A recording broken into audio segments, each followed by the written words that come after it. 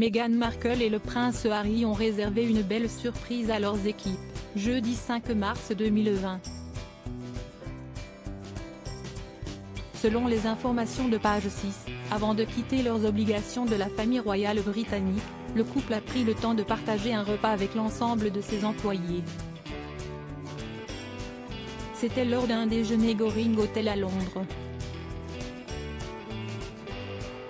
Depuis janvier 2020 et l'annonce du Megoi, les 15 membres du personnel du duc et de la duchesse de Sussex ont reçu l'ordre de fermer leur bureau de Buckingham Palace.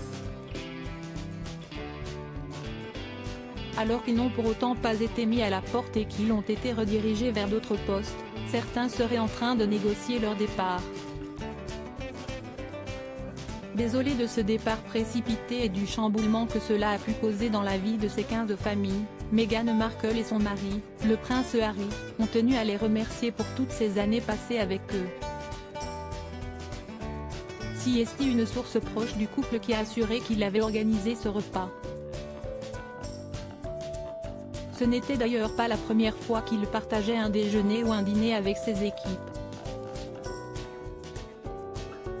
Harry et Meghan ont souvent fait des choses amusantes comme organiser des pizzas ou louer des camions de crème glacée pour leur personnel, mais ils voulaient faire quelque chose de spécial pour cette dernière semaine tous ensemble, a-t-il ainsi expliqué. Certains membres du personnel de Meghan et Harry ont pleuré alors qu'ils ont pris le temps de tous les remercier un par un, certains membres du personnel ont versé quelques larmes. Ils ont tous vécu tellement de choses ensemble et le personnel a travaillé sans relâche pour s'assurer que cette dernière visite se déroule le plus harmonieusement possible.